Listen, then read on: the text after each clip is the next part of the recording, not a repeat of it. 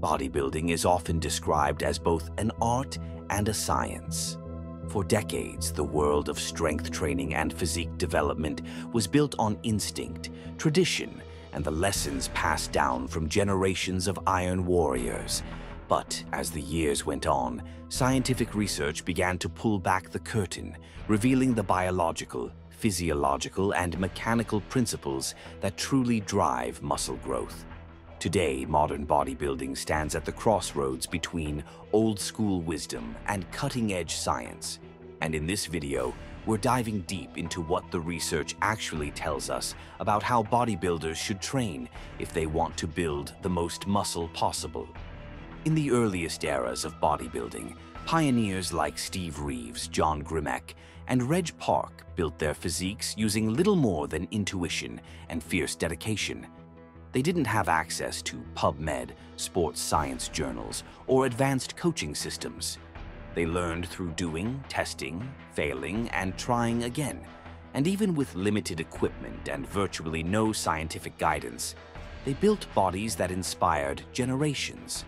But what they didn't know, and what today's research has finally uncovered, is why their training methods produced the results they did.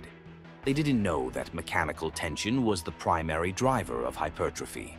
They didn't know how muscle fibers responded to load at different lengths. They didn't know how protein synthesis behaved after a workout or how rapidly it returned to baseline.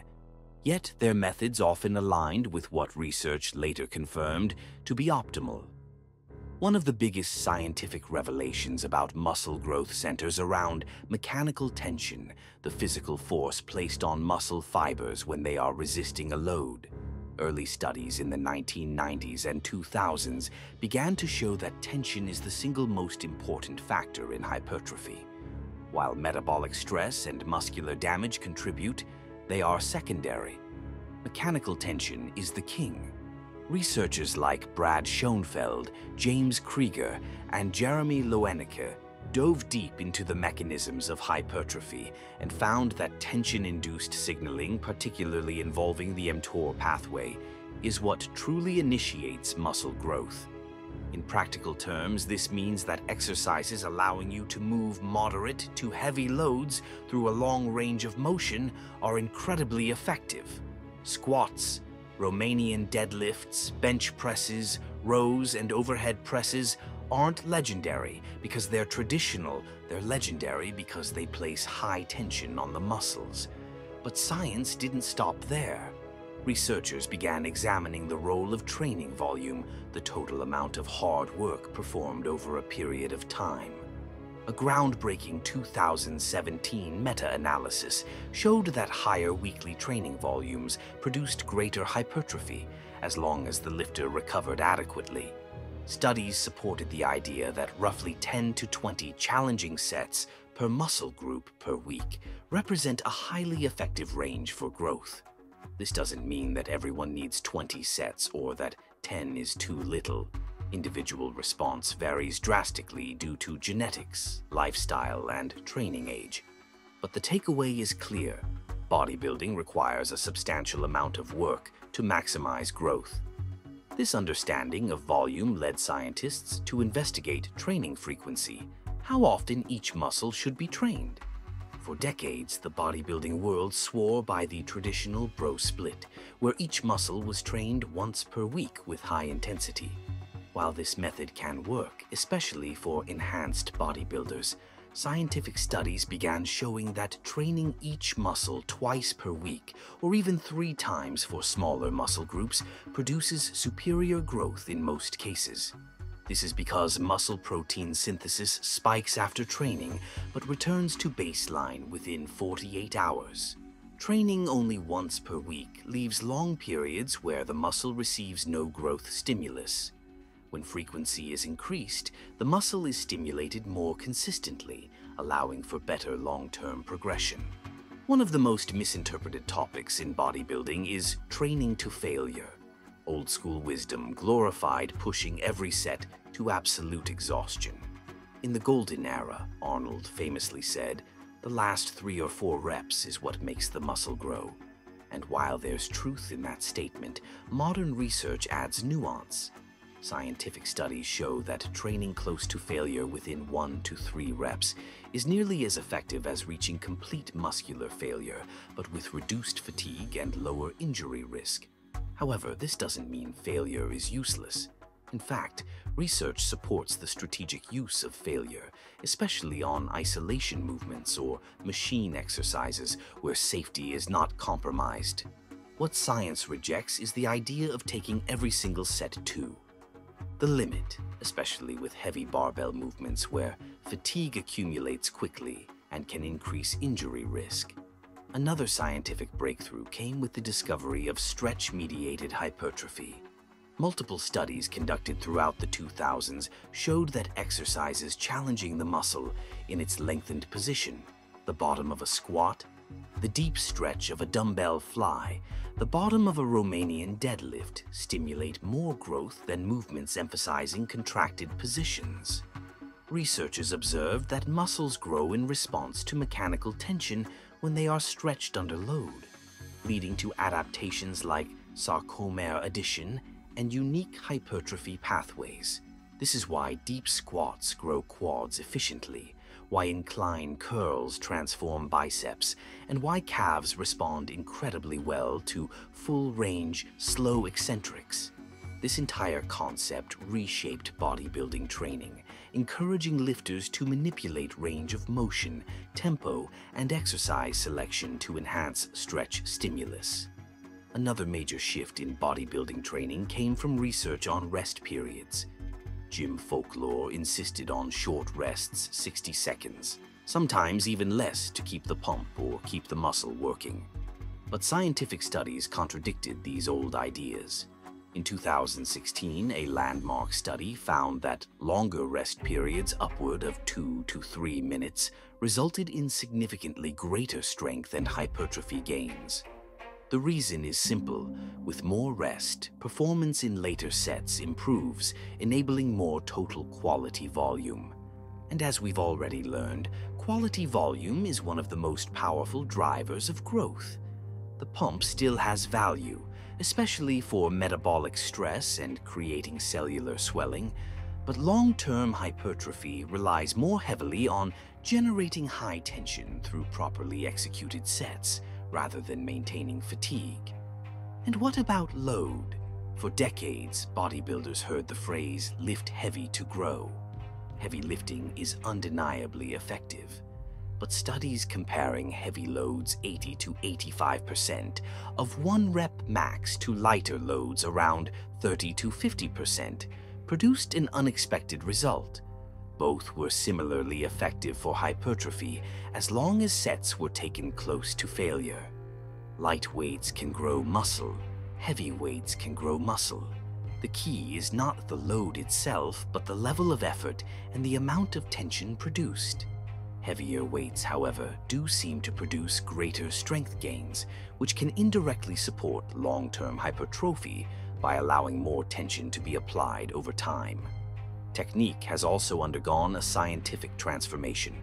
Early bodybuilders often prioritized moving weight from point A to point B by any means necessary.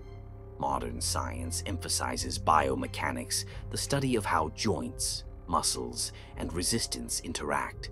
Electromyography, EMG studies helped identify not only which exercises activate muscles most effectively, but how slight adjustments, elbow path during rows, wrist angle during curls, torso position during presses can dramatically alter muscle recruitment.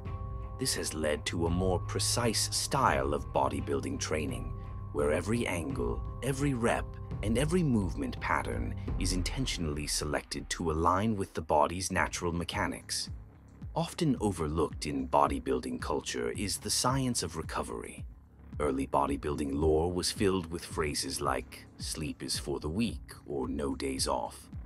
But research strongly contradicts these ideas. Sleep is one of the most potent recovery tools available. During deep sleep, the body releases growth hormone, repairs tissues, replenishes glycogen, and restores neurological function. Studies have shown that even minor sleep reductions can decrease strength, reduce testosterone, impair reaction time, and limit muscle growth. Nutrition is equally important. Protein intake of roughly 1.6 to 2.2 grams per kilogram of body weight per day maximizes muscle protein synthesis. Carbohydrates fuel training performance. Dietary fats support hormone production. Hydration enhances strength, endurance, and training capacity. Science also revealed some of the worst practices in bodybuilding mistakes that can sabotage progress even in hard-working lifters. The first is junk volume. This refers to sets that are too easy to stimulate growth, but still produce fatigue. Excessive high rep, low effort training may create a pump, but it contributes very little to hypertrophy. Another ineffective practice is excessively high frequency without proper recovery. Training a muscle every day may sound intense, but without recovery, the stimulus becomes too small to matter.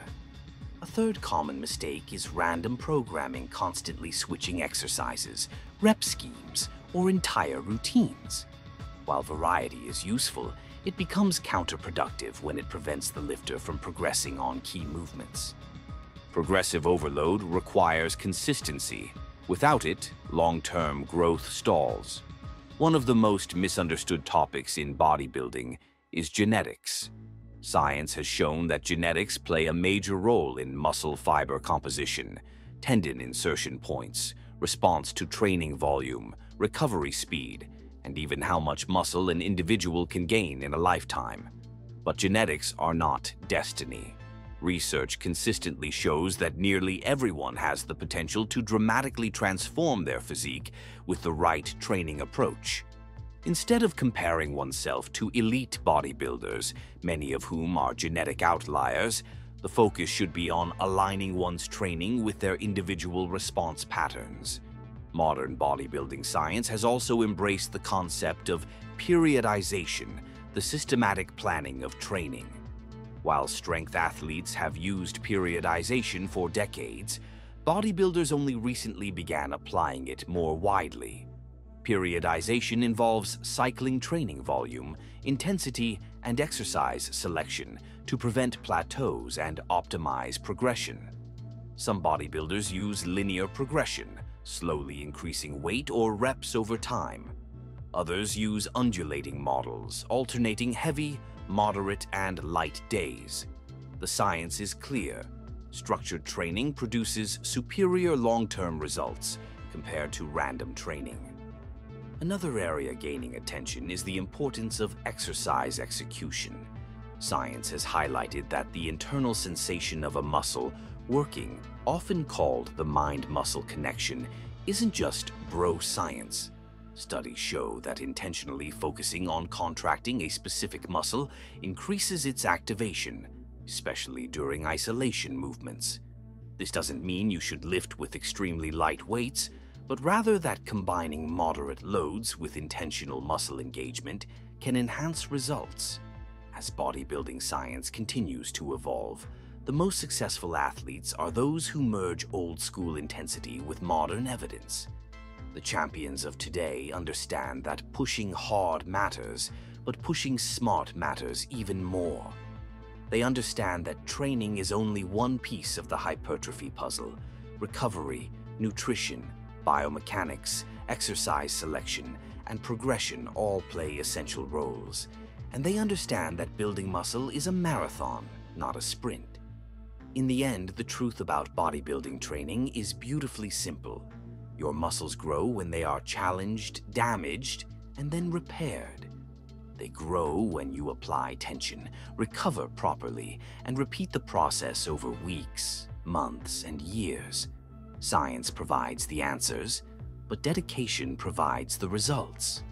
The lifters who build the greatest physiques are those who apply scientific principles consistently, refine their technique, track their progress, listen to their bodies, and commit to the long game. Bodybuilding will always remain a combination of art and science. It's about sculpting a physique with intention, discipline, and intelligence. And thanks to modern research, we now understand more about hypertrophy than any generation before us. Whether you're a seasoned lifter or just starting your journey using science backed training principles can take your progress to heights you never imagined. Train hard, train smart, and let the science of muscle growth guide you to your strongest, most powerful, and most muscular self.